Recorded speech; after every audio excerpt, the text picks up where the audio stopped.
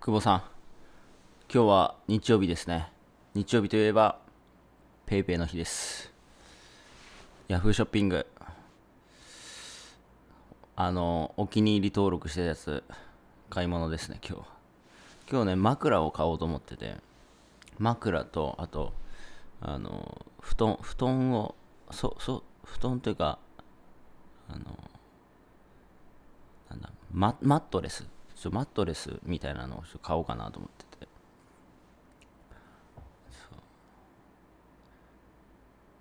僕ソフトバンクだといっぱい戻ってくるんですよね日曜日。そう。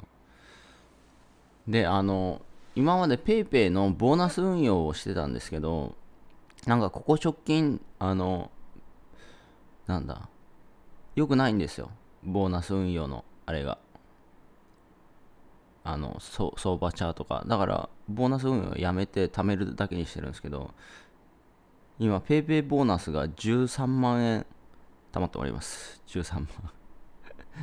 13万貯まりました久保さん。買い物してるだけなのに。そう。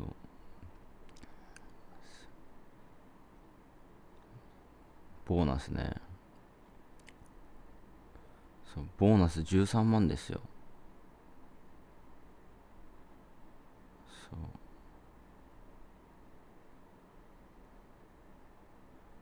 これなんだ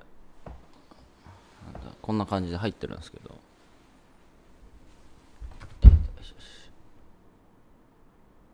見えねえな。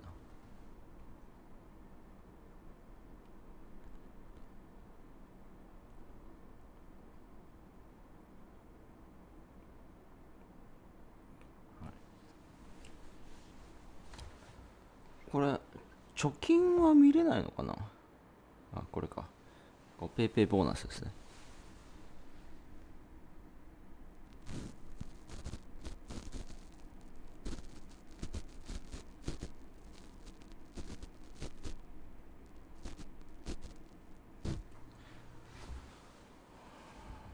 ペイペイボーナス13万2375円。買い物してるだけなのに。すごいですね。なんかね3月からなんか PayPay ボーナス運用の手数料がこう発生するらしいですね。うんだから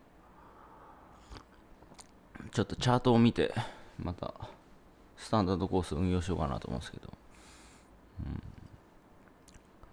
まあ、何が言いたいかっていうとあのーこうお金をつ稼げるようになってあお金ってお金なんだなっていう。お金ってお金なんだなっていう。お金が使えるようになるとお金を生み出せる。まあペイペイペイペイの仕組みはまあそういうふうにお金使ったらこうね電子マネー作ったらまだ戻ってくるっていうのはあるんですけどなんだろうな。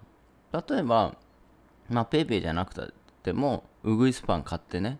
ウグイスパン買ってウグイスパンをレビューするとまた速稼塾が売れてお金が入ってくるみたいな。そう。からお金稼げるようになるといろいろいいですよ。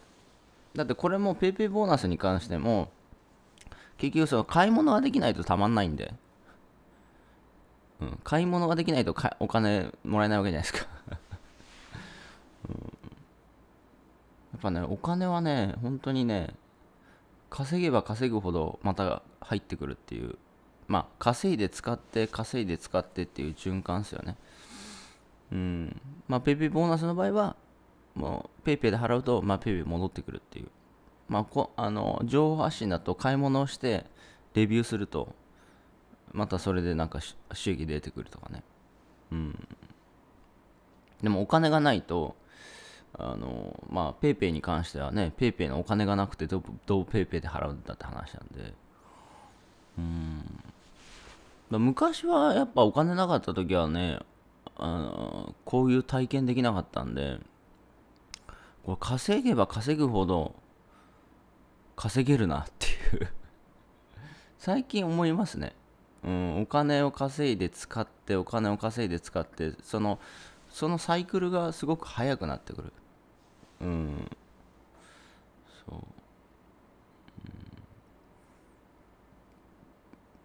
うん、だこれはね、めちゃめちゃいいっすよ。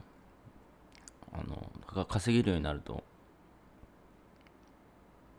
いいっすね。だから時間も時間もあるしなんだ得られるものもあるしうんなんかなんか不思議ですね。うん久保さんも麻雀店やってた時の生活と今比べると不思議だなと思う時があるのかもしれないですけど僕は不思議だなと思いますね。不思議だなっていう。だからこの前もドライブしながら不思議だなと思ってましたからね。もうこんな人生があるんだなみたいな、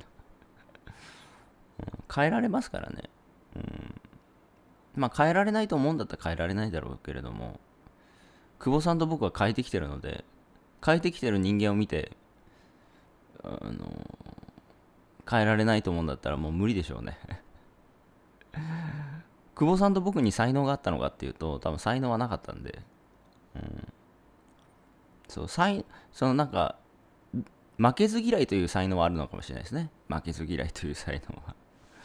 でもその一般的にそのビジネスセンスがあったのかっていうとビジネスセンスがあったら麻雀店赤字にしてないしビジネスセンスがあったら麻雀店やってないかもしれないですね。センスがあったら。うん。僕もセンスがあったらね、従業員をちゃんと経営できて従業員を動かしてね、従業員に売り上げ作れるような仕組みを作れたかもしれないですけどね。センスがなかったですから。うん。なんか、久保さんだからとか、吉谷さんだからとかね。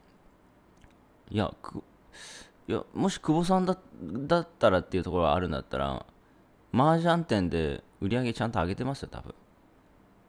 僕もあの社長の器があれば経営経営センスがあったらちゃんと経営できてたと思いますけどね。うん。あまあ人を人を経営することは僕はできないですね。そう。人を経営することは。自分を経営していきたいですね。うん。はい。いってらっしゃい。